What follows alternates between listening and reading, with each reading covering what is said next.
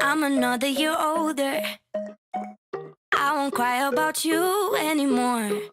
Told my friends to come over to dye my hair. Hmm. It's not even the weekend.